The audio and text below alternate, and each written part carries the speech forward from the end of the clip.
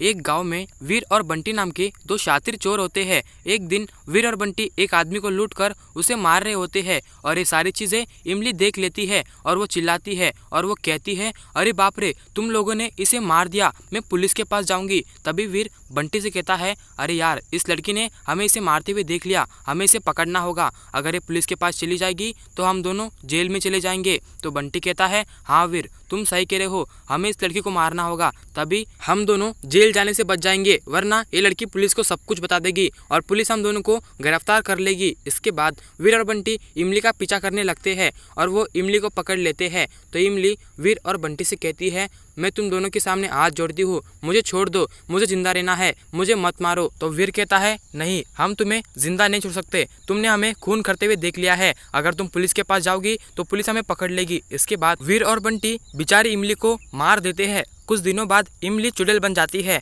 और वो कहती है, मुझे उन दोनों से बदला लेना है। उन दोनों ने मुझे नहीं छोड़ा। उन दोनों ने मुझे मार दिया। वे दोनों जिस भी गाँव में रहते हैं, मैं उस गाँव में बाढ़ लाऊँगी और उन दोनों को मार दूँगी। इसके बाद वीर और बंटी के गाँव में बाढ़ आ जाता है, जिस हादसे में वीर और बंटी की मौत हो जाती है, जिसके बाद उस चुड़ैल का बदला पूरा हो जाता है।